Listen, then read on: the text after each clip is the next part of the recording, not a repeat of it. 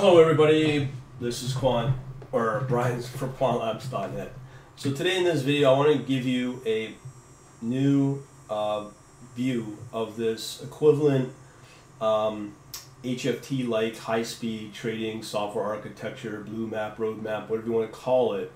Uh, I did a two-hour presentation uh, on Monday, a few days ago.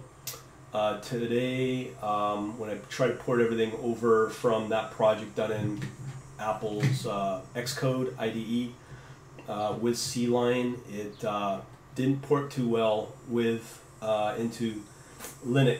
So here we are on my Ubuntu Linux environment using virtual machine, uh, sorry, virtual box with a virtual machine um, with Ubuntu 14.04. Before I get started, um, during my presentation, I did a poll to see how many would be interested in a Visual Studio equivalent project. These libraries uh, that I'm working with will not work on Windows or .NET, so you do have to use um, Linux. It's preferred anyways, like 90% of all these type of systems are um, available only uh, or all done in Linux. And uh, Ubuntu right now is easiest, so all my members, I'm going to encourage them to stick with Ubuntu. Uh, and I'm using 14.04, which is more stable than the current version of, of 16.04 uh, in terms of bugs, as well as um, some other things. So let me just show you what I've done here. Now I've got a terminal, but I'm using something called Terminator. And um, basically what I'm going to show you is the projects, very high level. So first thing I want you to pay attention to is I'm not, uh, originally I was hoping to use a CodeLite IDE, but I'm using one called CodeBlocks. Uh, this is 1312, this is a standard uh, IDE that you would use um, that when you install into Ubuntu, um, that's the version you get. And that, you know, you don't need to upgrade it for the sort of stuff that I'm doing. So let me just show you uh, how to typically install it. So just go sudo apt-get install CodeBlocks and uh, that's it. That's all you need to do. And then your user password, boom, boom, boom. It's already installed, blah, blah, blah. Okay, so we got code blocks running. Okay, so what I want to show are three quick projects. Um, and uh, if you want the source code, here's um, how it all pretty well works. Now, um, if you log into, uh, you have to be a Quant Elite member. So essentially, if you go into my uh, Academy section, or basically better known as my um, as my uh, Elite membership for uh, Quant Elite membership. Um, I'm just gonna I'm just currently logging in here on another screen. Bear with me.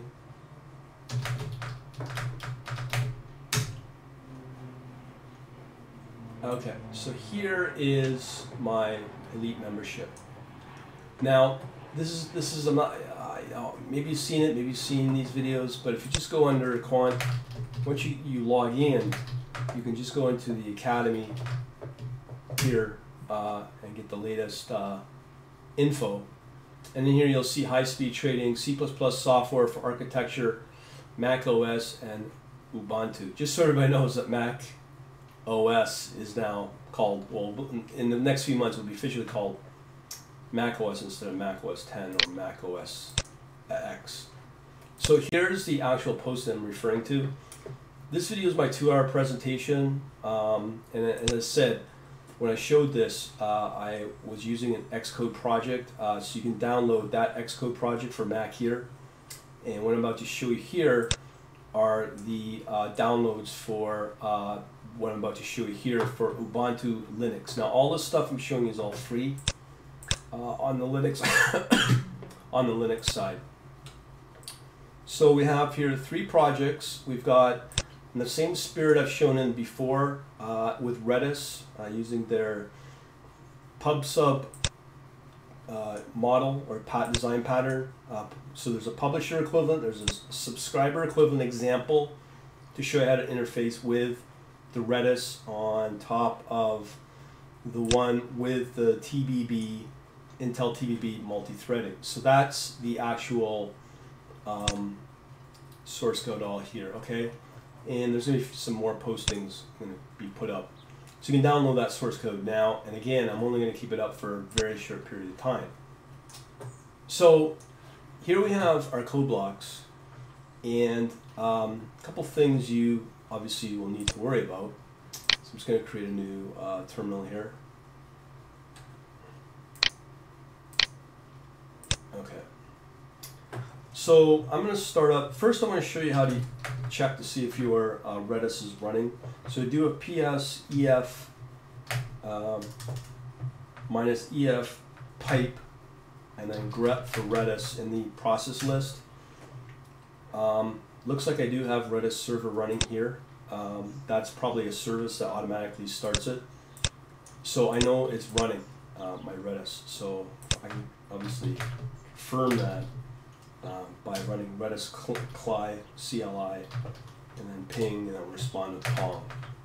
Now, if I go in and kill that process, I should have to have sudo kill 9 and then the process ID of 1156, that will kill the process, right? Okay,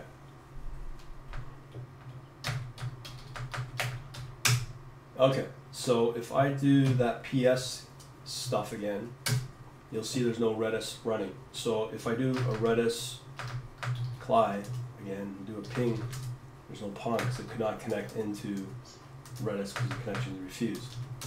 So let me just start up my Redis server.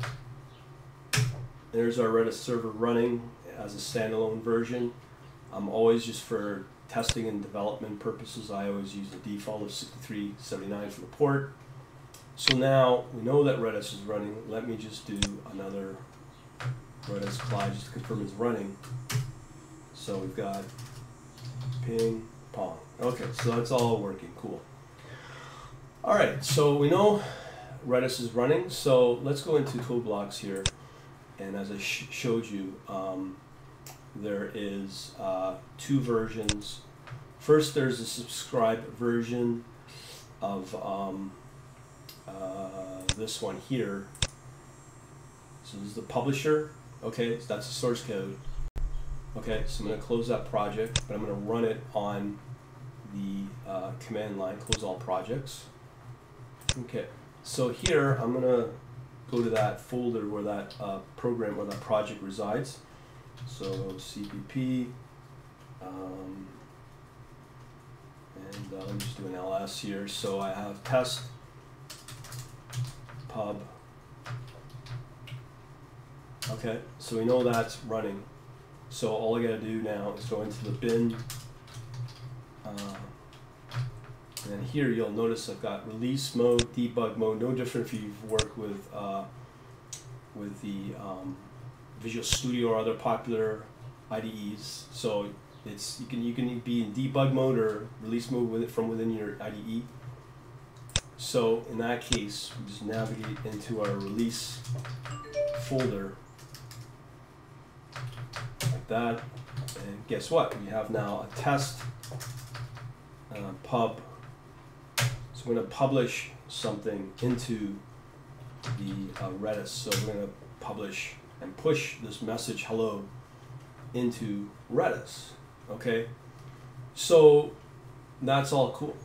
Now, the other program that I have available for download, as another example, is the. Um, uh, let me just do it. Uh, uh, we have another one which is basically uh, the the uh, subscriber, the standard subscriber. So this is it here. So if uh, close this project and navigate on my terminal. Okay, so go back here. Let me just create another. Actually, no. No, yeah, I'll create another terminal here. Mm, okay, we'll use this one. Okay, so what we're going to do here is we've got, um, I'm going to use this publisher here in this window, and then I'm going to set up my uh, subscriber uh, in this window. Okay, so we got to go to our top, our home directory, CPP, test, sub. Let's do a list here. Um, CPP, and then test. Uh, we want subscriber. Uh, which one is it? Test. This one here. Okay, and again, what we do is we navigate into our proper uh, folder to run it. Ah. All right, so here is our program. So basically I'm gonna set this up and uh, what this does, it's now waiting and, and, okay, so basically this is now subscribed to a topic for within Redis. So it's connected to Redis and it's waiting for messages to be pushed into Redis and it's gonna print out those messages or that data from Redis. And this again, these are all written in C++. So if I did before and I go hello, you'll see the message says hello. So that's now because it's subscribed to that topic, and um, you know if I put in another message, say hello to, you can see it gets uh, it receives it here. So this is all through Redis itself. Okay, so those that's this again. This is the publisher, and this right here is the um, subscriber. So that's just the basic test that I want to show. Okay, one last thing I want to show you is in code blocks here we have now using the uh, TBB for multi-threading. Uh, where are we? Uh, here we are. Okay, so here's the source code for everything to get you uh, started. And uh, I'm just going to go back to my um, to my close all this out. Okay. So now what I'm going to do here is I'm going to move to that folder. Um, CPP, I know it's test, uh, sub TBB. Okay, this is so let's go to that folder. Okay, so here we are. So we're to run this one, and basically do the same thing as before, publish, and I'll do hello to. So here's what's happening is if you've seen the code before, it's received that hello message I showed before, but here's where it gets different. Each one of these is a separate, call it an algorithm, uh, divided up in a node. Um, hopefully you remember the um, diagram where you have a data and then breaks off into two separate workers or nodes, and the other end it joins together the results of those. So this is what it's doing here is it's running a cube function uh, and, and, parallelizes it with a square function. And then out of that will come a result once it puts together the results and it'll you know, maintain a, a result uh, for every time it gets run. So let me just do this again. So I'll do hello 2. It does the same thing. So I'll make sure it runs the cube, runs the square, and then it'll run or it'll summarize this total each time um, this is uh, executed. So you'll see that's now six, and again it's uh, received the hello message, hello three message, cube square uh, functions get run, and then the final result as well. So that's pretty well everything in a simplistic form. So again, that code, three projects um, are definitely uh, here uh, in this listing here And uh, for Linux, Ubuntu, these are the three projects I'm referring to. So I got, I showed you the um, publisher, the subscriber alone, and then the subscriber with the Intel TBB um, as well. Okay, so that's pretty well it. And again, um, there's no support for this sort of thing in Windows. Redis does not run on Windows properly. There's no .NET support for any of these libraries. Uh, so again, you want to strive to, to run it, everything in Windows or in Linux. Uh, right now, Ubuntu is fine if you're new to all this. So uh, hopefully uh, this video will help you out. And uh, again, all this stuff that I'm showing you will only be available for, for a very, very limited time, i.e., uh, 24 hours. And it's actually up now.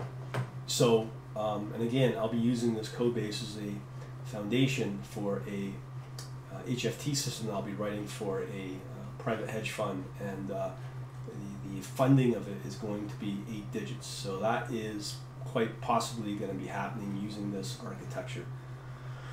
And I forgot to mention as well, um, because I'm running in Linux, uh, I always have FastFlow in my back pocket um, as well, uh, with a lot more flexibility than what TBB gives. But this Intel TBB is good enough as it is right now.